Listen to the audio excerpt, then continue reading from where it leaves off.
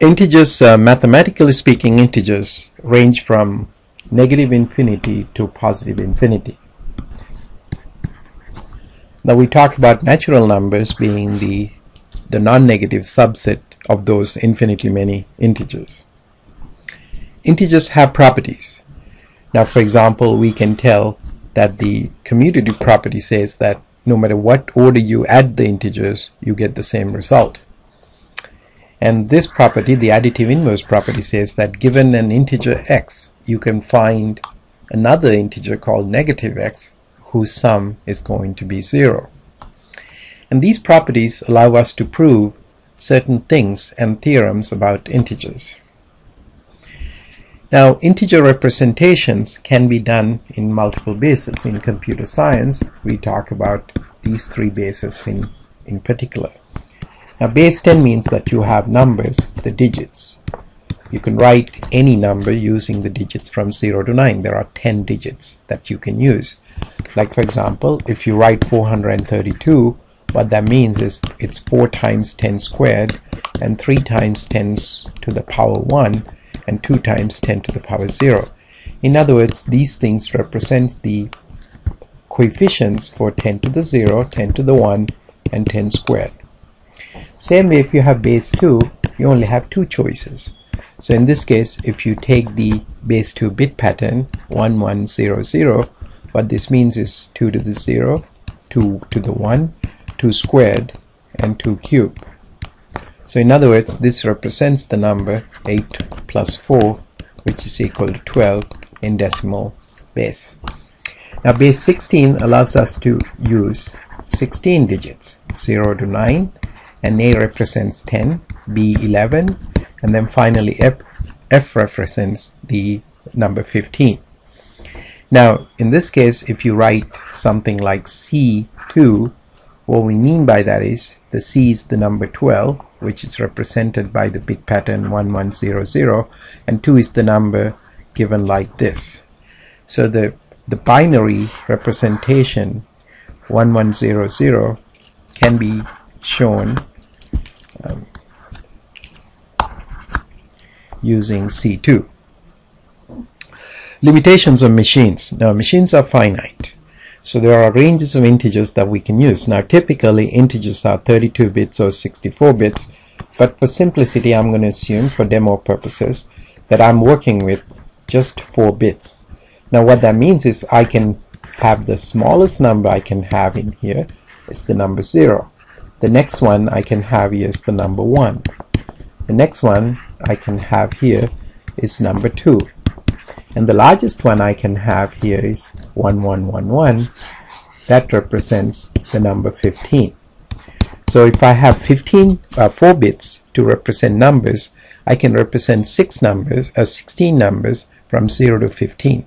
So what about 16? 16 is in fact is equal to 0. Um, so if you add 1, if you take 15 and add 1, we get 0, 16. But in modular arithmetic, this is equal to 0. If you take 15 and add 2, you will get 17. This is equal to 1, and so on. Representing negative numbers. So what about negative numbers? We talked about those positive numbers. Now what we mean by a negative number is we say x is equal to negative y or x is the negative of y if and only if x plus y is equal to 0. To demonstrate this, let's start with the number 2. So the number 2 is 0, 0, 1, 0. Now the question is, what can I add? Or what we know that if you add num negative 2, I need to get a 0 here. So what bit pattern can I add if I perform binary addition will give me the 0. Like for instance, if you give 0 here, 0 plus 0 is 0, so that's good. Then if I put a 1 here, 1 plus 1 is 0 and a carry 1. So I put a 1 here, 1 plus 1 is 0 is a carry 1. So in other words, if I define my negative 2 like this, then I will be getting the negative 2 is the bit pattern 1110. So now, how do I know that? If I add these two numbers, then I will be getting the number 0 and the, the other one is an overflow. So now given this, this means that how do we get this number? How do we get this bit pattern? Now we call that the 2's complement. So the 2's complement 2's complement of 2 is obtained by taking 2 and negating the bits of 2. Negating the bits of 2 will give me 1, 1, 0, 1. And then adding 1 will give me what I'm looking for. So 1 plus 1 is 0, and I carry 1, and a 1, and a 1. So here's the representation of negative 2. So if you take the 2's complement of negative 2, then you would get positive 2. So in other words, the 2's complement of negative 2 is equal to the tilde 2 plus 1. Now I have not talked about the tilde. Tilde is a bitwise operator that I will discuss in a little bit. Now binary addition, I already showed you an example of binary addition. If you have uh, two, num uh, two bit patterns here, that I can perform binary addition as follows. 1 plus 1 is 0 and I carry 1. 1 plus 1 is 0 and I carry 1. 3 is a 1 and a carry 1. 2 is a 0 and a carry 1. 3 is a 1 and a carry 1. 2 is a 0 and a carry 1. And 1 and a carry 1. And 1 and a carry 1. Now this is an overflow bit. So the summation of these two things come to that. Integer division and modulus. Now when we try to divide integers in computers, let's say that we want to divide 3 by 2 we want the answer to be an integer again.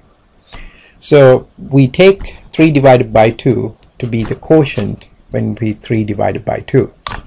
Then we also have another operator we introduce as modulus which is 3 mod 2 is the remainder when 3 is divided by 2.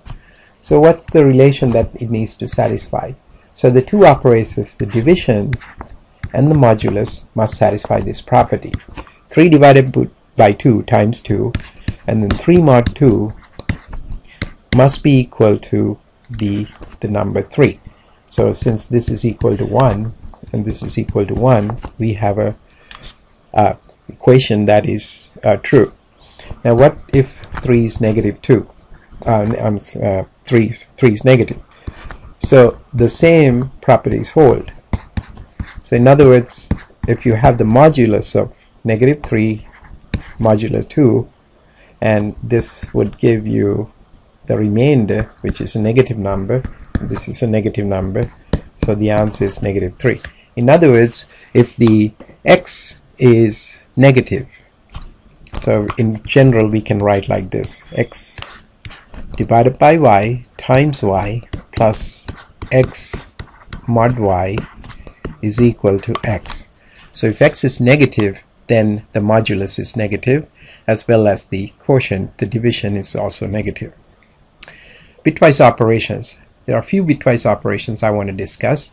The bitwise AND, bitwise exclusive OR, bitwise OR, and bitwise negation. So the examples are like if you take the 1, 1, 0, 1 and bitwise AND with 1, 0, 1, 1, we do the bitwise ending here. 1 and 1 is 1 0 and 1 is 0 and 1 and 0 is 0 1 and 1 is 1 so here's the bitwise AND if you take the same numbers and do the bitwise OR then you will get the 1 and 1 1 o 1 is 1 1 o 0 is 1 0 o 1 is 1 and 1 o 1 is 1 based on that table. Now exclusive OR operator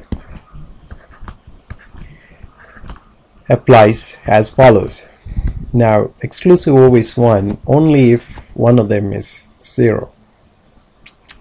So for instance here 1 and 1 would be 0. 1 and 0 would be 1. 0 and 1 would be 1. 1 and 1 would be 0. So for example, we know that if the two things have the same bit pattern, the exclusive OR will give you 0. Negation is just taking something, as you saw on the 2's complement, and negating the bits. It gives you 0, 0, 1, 0, 0, 1, 0, 0. Now there are two other bitwise operations that are important that will be discussed here. The shifting operator. So x shifted n means that the x, the bit pattern of x is shifted by n places. For example, if you take 1101 and let's make it and 0011 if you take this and then if you shift it to the left by two places what will happen is the you will get this pattern 1111 01 notice there are two things that are coming from the right. They are filled by zeros. Now if you do the right shift with the same number you would be getting uh, the, the following. You'll be getting um, 1 1 1 1 and then you will have 0 0 the missing bits from the left are filled by zeros masking. Now masking is a good technique for isolating bits and bytes. Like for example if you have the the bitwise pattern here 1101 how do we isolate the least significant four bits of this thing? So one of the things we can do is we can take a mask like this hexadecimal 0 and the hexadecimal F. And then we can do the bitwise AND so when we do that we do know that we're going to get 0 here because this is all zeros here. And the F means all ones and that means I'm going to just recover the same bit pattern. So by doing the masking I'll be able to get the first the least significant four bits of this thing. How about if I want to get the the next four bits so one of the technique I can use is I can take 1101 and 1101 and bit shift by 4 bits. Now when I do that I'm going to get these guys in fact in this case it happens to be the same but this will be shifted here and you will have 0 0 0 and then you will have 1 1 0 1 so now by doing the same type of a, a technique you would be able to isolate those four bits now this is the end of the lecture and we will talk more about this in class on Tuesday.